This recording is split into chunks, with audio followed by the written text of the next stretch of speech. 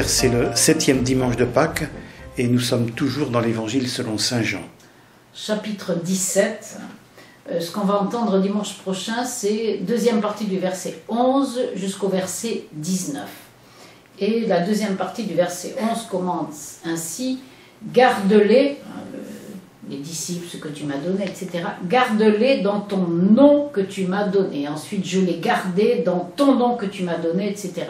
Il est abondamment, question du nom dans ce chapitre 17 de l'Évangile selon Saint Jean.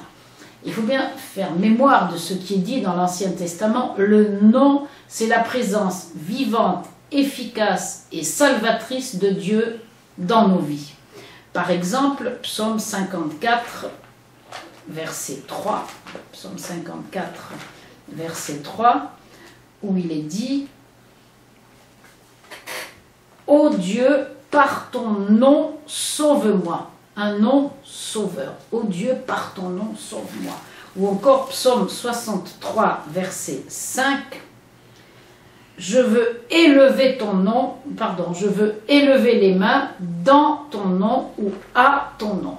Le nom du Seigneur, source de joie, source de salut. La présence efficace du Seigneur dans nos vies.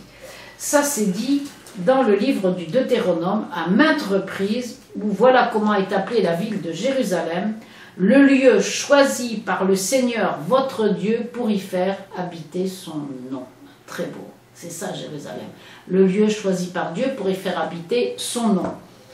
C'est ce qui sera dit évidemment du temple de Jérusalem, le lieu privilégié pour rencontrer Dieu à Jérusalem, au chapitre 8 du premier livre des rois, au verset 17. Voilà ce que dit Salomon. Mon père David eut dans l'esprit de bâtir une maison pour le nom du Seigneur pour abriter la présence de Dieu qui revient habiter parmi nous. Donc parler du nom, c'est vraiment parler de Dieu avec sa toute-puissance de salut. C'est la raison pour laquelle euh, Jésus parle du nom que tu m'as donné. C'est-à-dire que la puissance de salut qui est en Dieu se manifeste d'une manière parfaite en Jésus. C'est pourquoi dans l'épître aux Philippiens, Voici ce que dit Saint Paul, Épître aux Philippiens chapitre 2 versets 9 et 10. C'est pourquoi Dieu l'a exalté et lui a donné le nom qui est au-dessus de tout nom, afin qu'au nom de Jésus, tout genou fléchisse au ciel, sur terre et aux enfers. Qu'est-ce que c'est ce nom que le Père a donné au Fils? La toute-puissance de salut a manifesté au milieu des hommes. Alors on connaît bien le jeu de mots de Saint Pierre dans les actes des apôtres quand ils viennent de guérir hein, un paralytique hein, dans le nom de Jésus. Voilà ce qu'il dit. Actes des apôtres chapitre 4 verset 12. Il n'y a pas sous le ciel d'autre nom donné aux hommes par lequel nous devions être sauvés. Yeshua, ça veut dire Dieu sauve. Et c'est ce nom donné à Jésus qui vient nous révéler l'immense puissance de salut qui est en Dieu. Alors dans ce chapitre 17, il est question tout le temps du nom. Ça veut dire Dieu qui vient habiter chez nous pour nous sauver. Ensuite, un petit peu plus loin, toujours dans ce chapitre 17 de Saint Jean, Jésus dit, J'ai veillé sur eux et aucun d'eux ne s'est perdu, sauf celui qui s'en va à sa perte de sorte que l'écriture soit accomplie. Il faut toujours dire et redire que l'accomplissement des écritures, ça veut dire que des écritures un peu obscures ou incomplètes, on pourrait dire d'une certaine manière, prennent tout leur sens avec ce qu'a vécu Jésus. Et ce qu'a vécu Jésus, c'est ce qu'avait vécu Jérémie, ce qu'avait vécu Job. En Jésus, ça prend tout son sens. Le juste en proie à la persécution est trahi par ses proches. Dans le livre de Jérémie, chapitre 20, verset 10, voilà ce que disait le prophète Jérémie. J'entends les calomnies de beaucoup, terreur de tous côtés, dénoncez, dénonçons-le. Tous ceux qui étaient en paix avec moi, guettaient ma chute. Ça, c'est Jérémie. Et Job, Job chapitre 19, verset 19. Tous mes intimes montent en horreur, ceux que j'aimais se sont retournés contre moi. C'est ce que Jésus a vécu avec la trahison de Judas, et voilà ce que ça veut dire les Écritures qui s'accomplissent.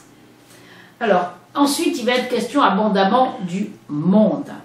Euh, il est dit dans le texte, le monde les a pris en haine parce qu'ils n'appartiennent pas au monde, de même que moi je n'appartiens pas au monde, je ne prie pas pour que tu les enlèves du monde, etc.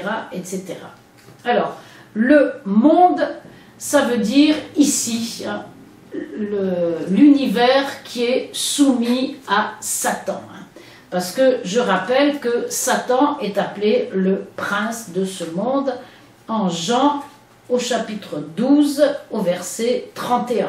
Jean 12, 31, c'est maintenant le jugement de ce monde, maintenant le prince de ce monde va être jeté bas. Donc ici, évidemment, il est question du monde, l'univers des forces mauvaises ou l'univers aux prises avec les forces mauvaises dont Jésus sera vainqueur, comme il est dit au chapitre 16 de Saint Jean, au verset 33. Gardez, dans le monde, vous aurez à souffrir, mais gardez courage, j'ai bel et bien vaincu le monde. Mais nous savons aussi, et ça c'est un texte que, tout le monde connaît par cœur, ce qui est dit au chapitre 3 de Saint Jean, Dieu, au chapitre 3, verset 16, Dieu a tellement aimé le monde qu'il a donné son Fils unique. Donc il faut lire l'évangile avec bon sens. Tantôt le monde, c'est l'univers que le Seigneur vient sauver, Tantôt, c'est ce qui est aux prises, enfin sous l'emprise plutôt du prince de ce monde. Et le texte se termine avec la sanctification. Sanctifie-les dans ta vérité, ta parole est vérité, et il faut qu'ils soient eux aussi sanctifiés dans la vérité. La première fois qu'il est question de sanctification dans la Bible, c'est pour parler du jour du Shabbat. Genèse 2, 3 Dieu bénit le septième jour et le sanctifia car il s'était reposé. Sanctifié ou consacré, ça veut dire mis à part pour Dieu. Mis à part de quoi? Du monde de péché, mis à part de l'univers des forces mauvaises pour s'installer avec le Dieu de vérité. Le monde et Satan qui est, qui est appelé le père du mensonge, ça va ensemble.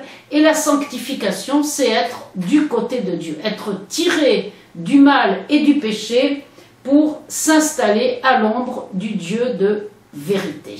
Voilà ce dont il est question dans ce texte. Et je voudrais terminer avec un très beau passage de Saint Grégoire de Nice sur l'unité aussi dont il est question dans ce texte, hein, pour qu'il soit un. Euh, l'unité qui est tellement importante, la communion avec le Père et le Fils dans l'Esprit Saint, pour laquelle le Seigneur Jésus prie pour nous. Alors je lis Saint Grégoire de Nice. Le Seigneur, ayant donné toute puissance à ses disciples, accorde tous les biens à ses saints. Ses saints, ça veut dire ceux qui se sont laissés sanctifier. Hein. Dans la prière qu'il adresse à son Père. Mais il ajoute le plus important des biens, celui d'être tous un par leur union au seul et unique bien.